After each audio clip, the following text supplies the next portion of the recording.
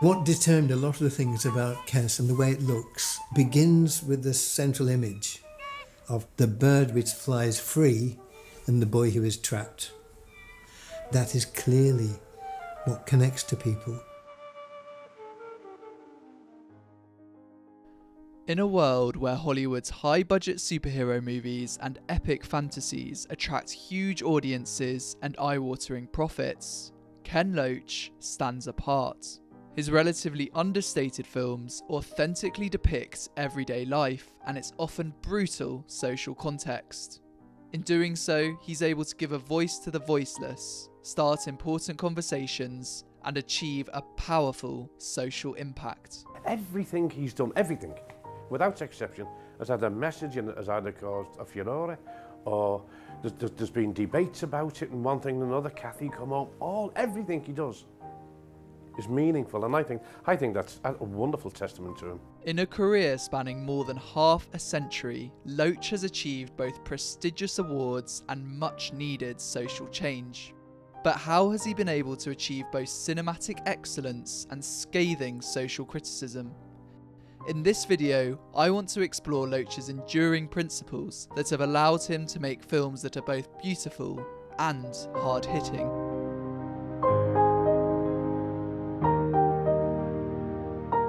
Well, films can be as should be as broad as a library.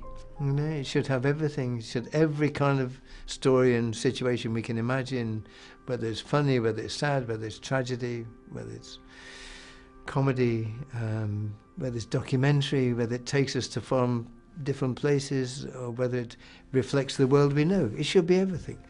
Um, and I think reflecting the world we know it can make beautiful cinema because um, it can celebrate who we are, it can laugh with us, it can cry with us, it can, it can learn about our deepest feelings and what it is to be human.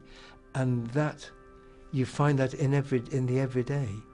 At first glance, the average Ken Loach film isn't all that exciting. If I read you a premise such as a man becomes a delivery driver to get out of debt, you wouldn't exactly jump at the prospect. This is because each film is the antithesis of a typical Hollywood movie. There are no A list celebrities, no big name producers, and no sensationalised trailers. Instead, Loach insists on using new, inexperienced actors to tell everyday stories about ordinary people. This approach to filmmaking has its roots in Loach's early influences. Unlike many directors, he was never entranced by American cinema. Instead, he found inspiration in Europe among the Italian neorealists. I was never entranced by American cinema, particularly.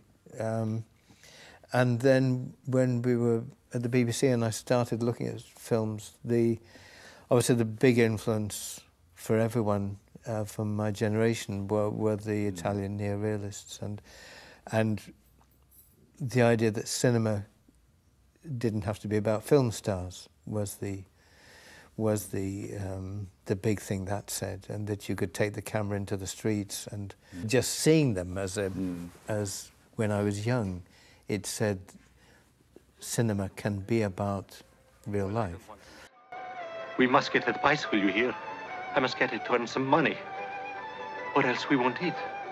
Perhaps the most iconic film to come out of this genre, and one that heavily influenced Loach, is Vittorio De Sica's Bicycle Thieves. Set in Rome, the film follows a poor father who is desperately trying to provide for his young family. It offers a unique and authentic portrayal of the poverty and unemployment endemic within post war Roman society. In this harsh context, ordinary individuals, such as the film's protagonist, are effectively powerless. In the words of a New York Times reviewer, it is the isolation and loneliness of the little man in this complex social world. Now, compare De Sica's version of Rome to the one provided by Hollywood around the same time. William Wyler's Roman Holiday. Here, a crown princess meets a reporter who takes her on a whistle stop tour of the city. Driving around in a Vespa, the characters, played by A list film stars Gregory Peck and Audrey Hepburn, go to various iconic landmarks such as the Spanish Steps, the Mouth of Truth, and the Colosseum. The film paints a romanticised vision of post war Rome, where money is no object and everything is possible. The ordinary man, desperately trying to make ends meet, is nowhere to be seen. Whilst there is nothing wrong with Wyler's approach, it may cause some misunderstandings. Audiences that only see Hollywood's perspective on the world, where every character is exceptional and the person playing them is a film star, may forget that genuine social problems exist. Meanwhile, the neorealists showed that film could be used to highlight social problems and not just gloss over them.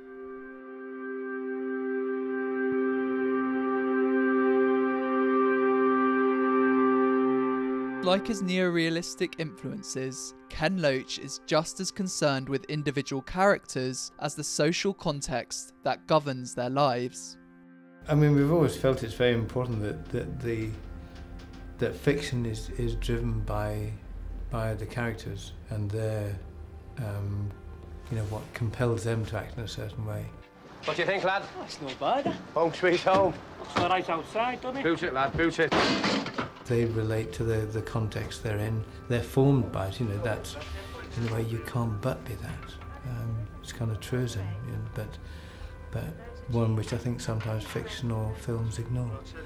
Um, because characters are seen somewhere in a vacuum, you know. Um, whereas I think it's absolutely interrelated to the economic circumstances you live in, whether you're part of a society which from which you're alienated or whether you're part of it, a contributing part of it.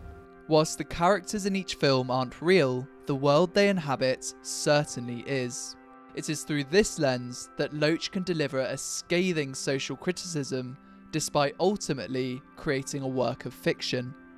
One of Loach's first films, Cathy Come Home, initially seems like your typical Hollywood romance.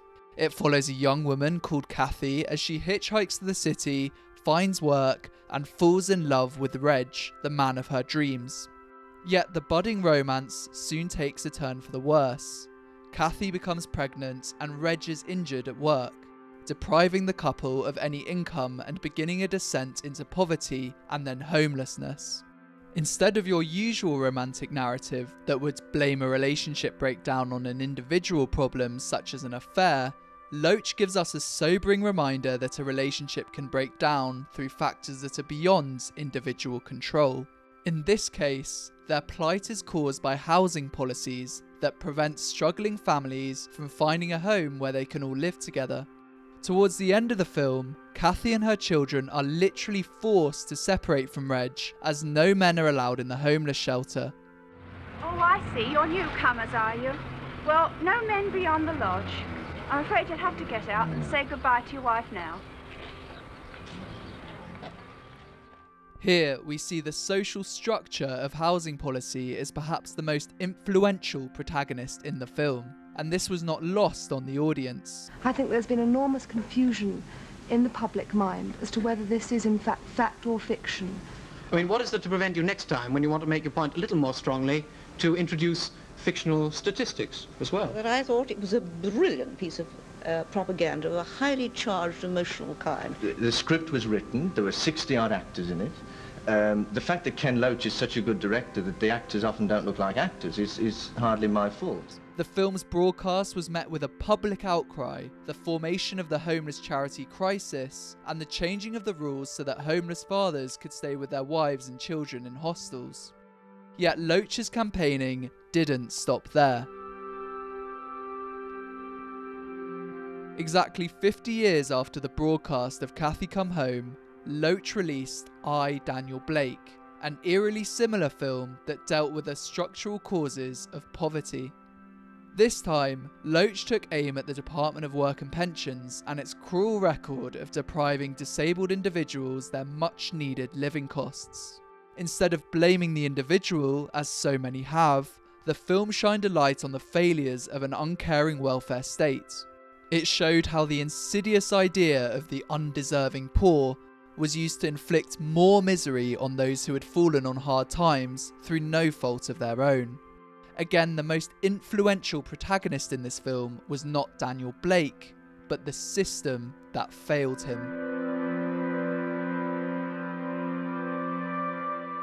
Whenever a film like I, Daniel Blake is used in a political context, you'll often hear arguments like this one. I mean, Ken has been working for 50 years as a social commentator, as a, one of our great directors. I have huge respect for his work. But it is creative. I don't think it's an accurate. I mean, it's not uh, true. Is that what you're well, saying? Well, I think elements of it are true. But as he said, he's telling a story. There's a place for social commentary. There's a place for, um, you know, from Dickens right through Ken's work to now there's lots of uh, place for social commentary, but I don't think it's actually reflecting a broader reality. Which is fair enough. However, these stories are not created in a vacuum. Each film is heavily researched to the point that it is effectively an ethnographic study. It's applying to hundreds of thousands of people, hundreds of thousands of people.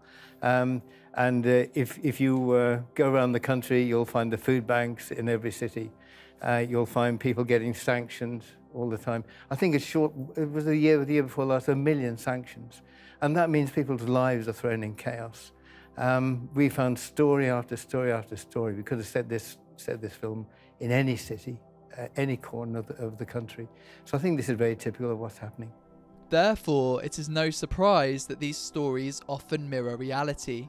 In my analysis of I, Daniel Blake, I recounted the tragic, real life story of Stephen Smith, an individual who had come up against the same issues highlighted in the film and sadly died as a result. Yet it's not only Ken Loach's stories that are grounded in reality. His whole approach as a director brings honesty and respect to incredibly difficult subjects. Instead of forcing his own style and perspective on his subject matter, he prefers to use only the most appropriate way of telling his stories. The thing about style, I think, is that um, you know, it's the old adage that style reflects content. It isn't something stuck on you like a, a new suit. I mean, it should. I mean, it must actually come from what are we trying to express and how can we best express it. This commitment to authenticity flows through to every facet of his films. For example, they are almost exclusively shot on location. Riff Raff, a film that documents the irony of a homeless construction worker, was filmed on a real building site instead of an artificial set. You actually forget you're in a movie altogether.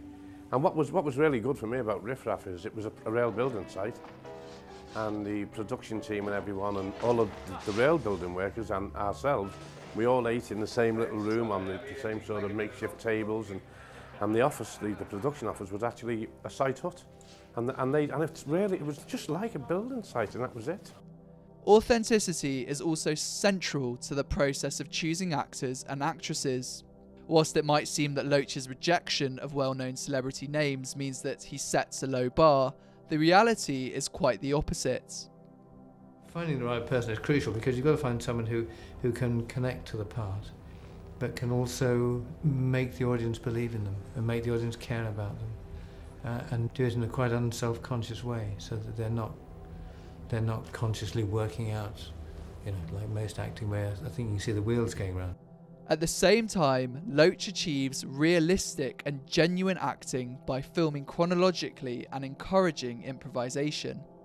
In a way, it takes the responsibility away from the actors. Mm. They don't spend six weeks thinking, my God, I've got to be surprised. My God, I've got to break down into tears. Mm. My God, how am I going to do this? It, it's, if they are true mm. in their responses, and that's what you test in the auditioning process. This commitment to realism means that his films must be taken seriously. They cannot be dismissed as purely fictional because the stories they are based off are real life accounts. Equally, Loach's understated style and commitment to authentic acting ensures that each depiction fairly reflects its source material.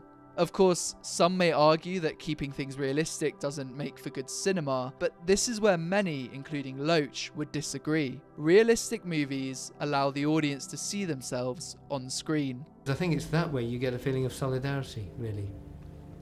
And one thing you want from the audience is a feeling of they're me, I'm them, you know. I, that's we we have a collective responsibility. It's we're in the same world, and, um, and I think I think a problem with sort of a number of films is that just as people are alienated from the society they're living in, the characters in the film are alienated from the audience. And I think that's a pity. And it's to do with it's to do with the kind of writing, it's to do with the kind of shooting which puts people at arm's length, you know.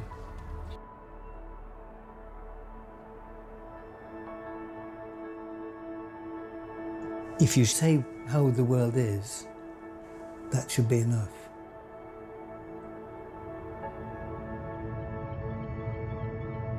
Just this sense of simple connection between people. Just being. Ken Loach is a director in a league of his own. For more than half a century, he has carried the torch for social realism, a genre that has produced some of the most powerful and important cinema of our times.